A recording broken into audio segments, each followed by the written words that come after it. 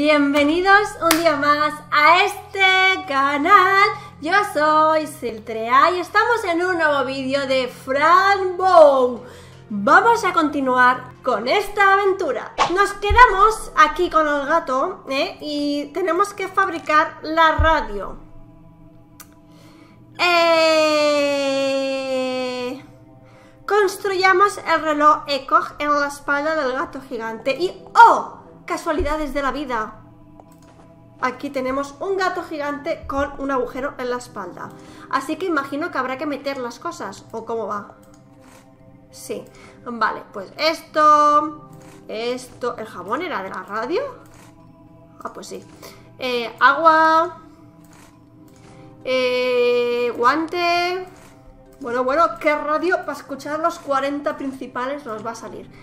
Mm, despacito. Ya está, ¿no? ¿Qué falta? Cartera vacía. Ah, cartera vacía. ¿Dónde está la cartera vacía? Pero Ah, cartera esta. Mm, yo buscaba un monedero, ¿sabes? Estos típicos de hombre de, de cuero. Vale, pues ya está, ya está.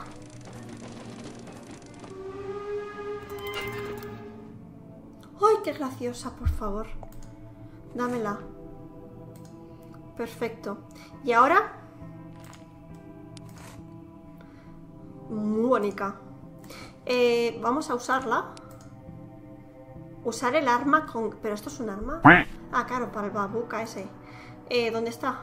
Estará en esta puerta, imagino, ¿no? Que tenemos la llave. Vamos a ver qué tal. Eso da mala pinta. ¡Oh! ¡My God! ¡Oh, my God! Mira, tú eres lo más normal que veo aquí. Criatura de arriba, sal de la madriguera de Mabuka. No eres bienvenida. Disculpe, pero estoy buscando a mi gato y necesito despertar a Mabuka. ¿Solo Mabuka? Madre Mabuka para ti, pequeña infante arrogante. ¿Y cómo planeaste despertarla, eh? Con las chifladas ideas de Cowin Cowin es un amable relojero, no está loco. Ah, así que le conoces. Supongo que habrás estado en Itersta. Horrible lugar, debo decir. ¿Qué dices, chato? Si es el paraíso al lado de esto. Demasiado resplandeciente. Bueno, ahí es exactamente donde quiero ir en cuanto encuentre a mi gatito. ¡Bien por ti! Tú frágilmente estarás salvo allí, entre esas criaturas tan aburridas. Mm, ya me voy, árbol maldito. Mi gatito me está esperando. Mm, viene a ser No me rayes la cabeza. Eh, vamos a usar esto. Esta será la madre, ¿no? Sí. Bueno, así la despierta, se va a despertar cabreada, porque a mí me despiertan poniéndome una luz en toda la jeta y bueno, me despierto como la niña del exorcista, ¿sabes?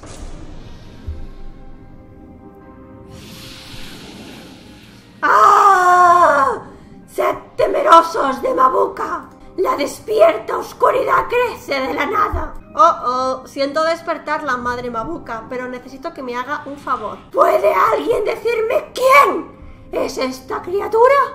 ¡Cuánta insolencia en tan pequeño cuerpo! Y bueno, puedo responder yo, ¿sabes? Disculpe, pero puedo responder yo misma. Soy Frambo y haciendo reverencias. Niña humana, 11 años. Tenía 10 cuando estaba en el psiquiátrico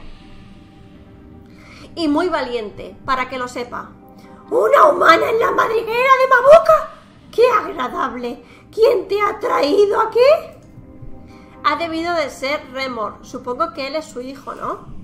¿Ha conseguido ya mi hijo entrar en tu cabeza? ¿Se refiere a si me ha abierto la cabeza de un corte? No lo creo. ¿Has bebido o comido alguna especie de poción rojiza o judías? ¿Judías? Mis pastillas parecían judías rojas, así que sí, me tomé un bote entero. Toma, toma castaña. Entonces no puedo usar la violencia contra ti. El poder se ha desatado. Espero que encuentres bajo el suelo la verdad que buscas. ¿Bajo el suelo? ¿Enterrada o me va a tirar por aquí? Que parece un agujero que va a abrir. Gracias, pero ¿qué poder ha sido desatado? ¿Puede decírmelo? El poder que hay dentro de ti.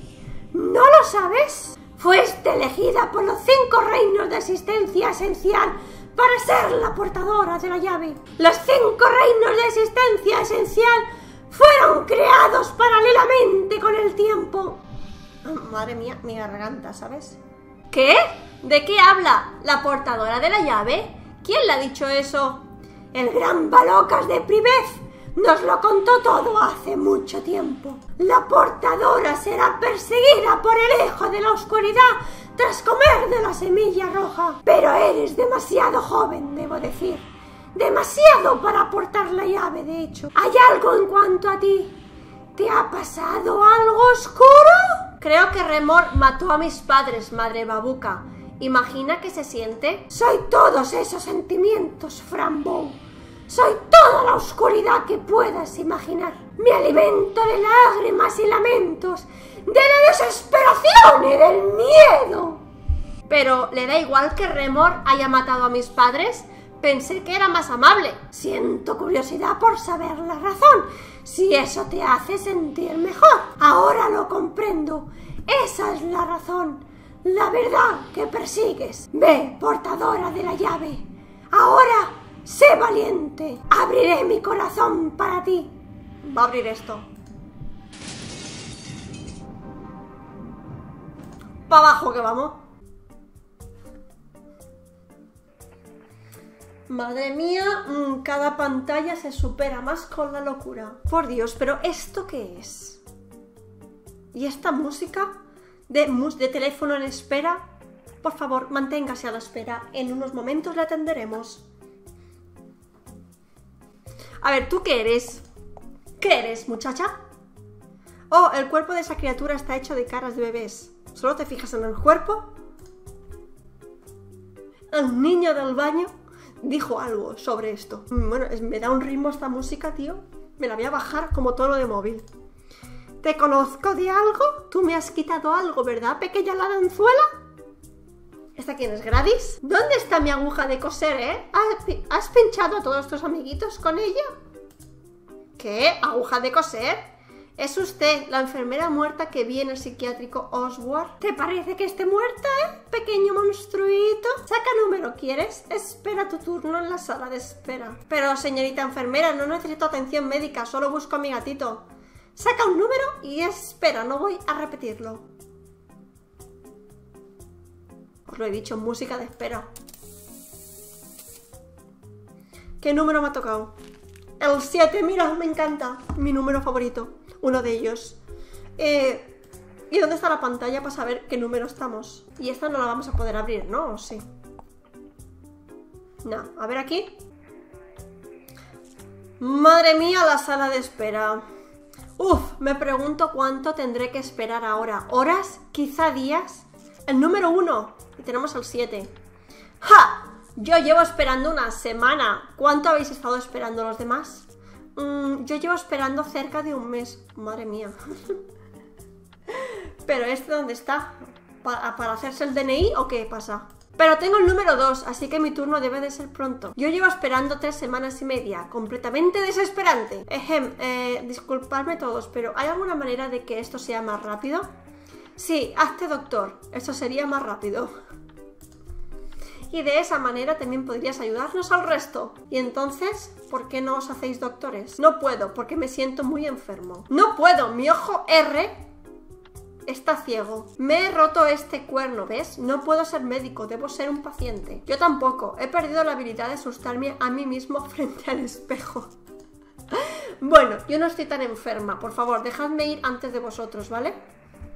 Entonces es al revés, Fran. Primero van los más enfermos y al final los que no están tan enfermas. No puedo, no sé ni qué enfermedad tengo, por eso estoy aquí. Mm, Fran la doctora. Pero ¿cómo que no lo sabes? ¿Sientes dolor en algún sitio? Esa pregunta es muy difícil, hazla más fácil. ¿Cómo puedo hacer la pregunta más fácil? Eso es muy extraño. ¡Ey! ¿Has intentado sacarte los ojos? Eso a veces ayuda. Uf, suficiente. Con vosotros es imposible hablar algo con sentido. Claro que no puedes encontrarnos sentido. Tú no eres la que todo lo ve. Nos conoces desde hace minutos. Es muy poco tiempo para entenderlo todo. Mm, eso es cierto, pero estaría bien usar un poco de sentido común. ¿Por qué? ¿Qué hace el sentido común que no haga el, sentido no común? Bueno, no sé ni para qué les doy conversación. bueno, ayuda a poder entendernos entre nosotros. Nosotros nos entendemos con nuestro sentido no común de todas formas. Sí, realmente nos entendemos. Nosotros respetamos las diferencias. Mm, ¿Y entonces quién es la que todo lo ve? ¿Os referís a Mabuka? ¡No! Mabuka lo sabe todo, no es lo mismo que verlo todo. Ahora quiero esperar, porque hablar no hará que las cosas vayan más rápido. Vale, mm, gracias por nada. Mira el cuadro, ese es un feto. Todo sangrante. El 2 lo tenía este, ¿no? Sí. ¿Ves la pantalla? Yo tengo el número 2, es casi mi turno. ¿Te puedo dar algo? Un cuchillazo. No puedo hacer eso, dice. Oh, perdona, eso es muy fuerte para ti, Fran. ¿Y si cambio? Toma.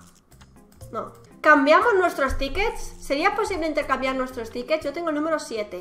No, necesito saber qué padezco, necesito saber qué enfermedad tengo. Y si descubro qué enfermedad tienes, entonces me darás tu ticket. Claro, si estoy aquí para cuando vuelvas. ¿Y cómo voy a saber yo eso? Es que no sé ni qué te pasa. Que todo lo ve. ¡Ah! ¿Puedo volver a las habitaciones? Pregunto. ¿O ya no? Sí que puedo. El ojo donde estaba. Ese me dijo que todo lo veía. ¿Me puedes decir qué le pasa? Pero ¿cómo le pregunto? Disculpe, necesito su ayuda.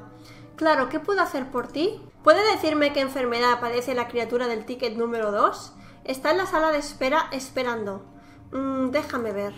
Ah, le veo, pero por lo que veo en realidad no es ninguna enfermedad. Solo es un dolor de cabeza provocado por el bajo nivel de agonía que hay en él. Wow, pero ¿hay alguna forma de ayudarle? Necesito su ticket. Sí, llorando todas las lágrimas que puedas llorar hasta que llenes esta botella.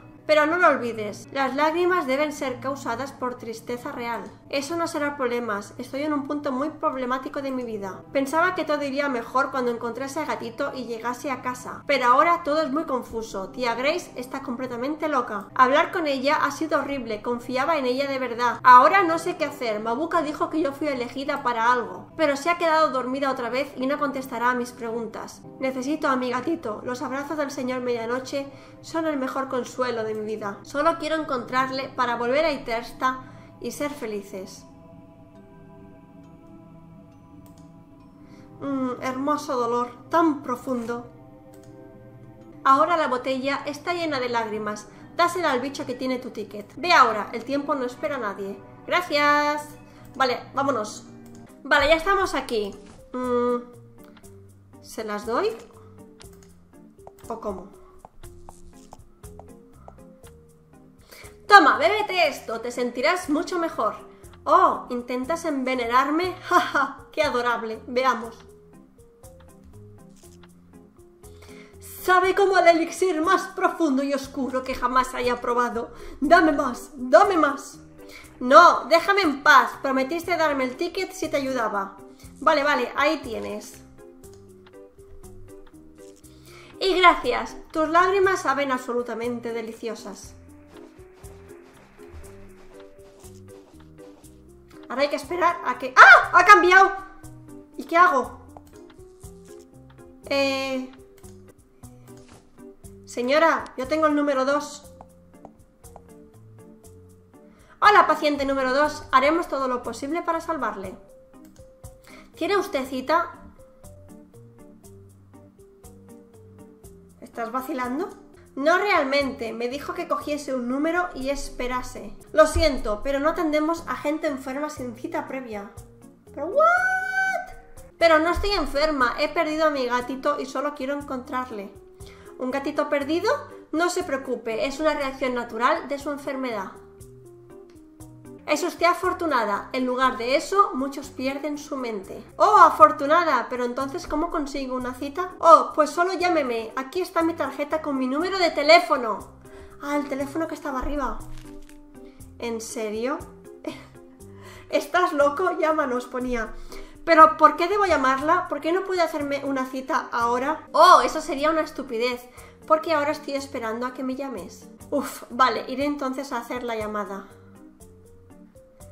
Madre mía, esto, esto parece la sanidad de verdad. La sanidad nuestra. Vale, eh, a ver el número. Es que me ha encantado esto. ¿Estás loco? Llámanos. Bueno, estos son muchos números. Voy a hacer una foto porque al igual me acuerdo de todos.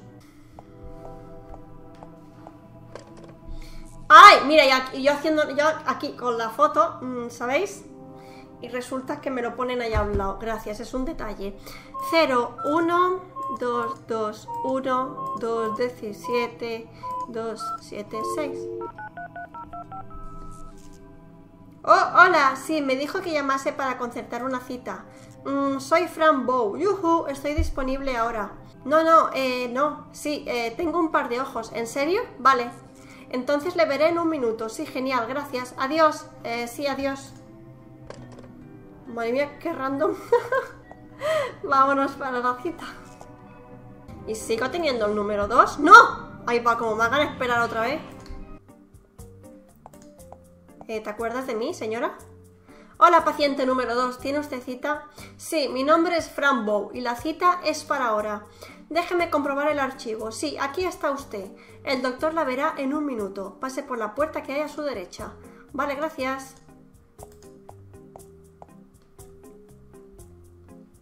Pasa, niña. Niña, pasa. Lo siento, le asusté, le veo bastante pálido. Hombre, mm, ¿tú crees que es normal salir así? Nos ha quitado la música de todo el susto que nos ha dado. Uf, sí, sí, qué pesadilla.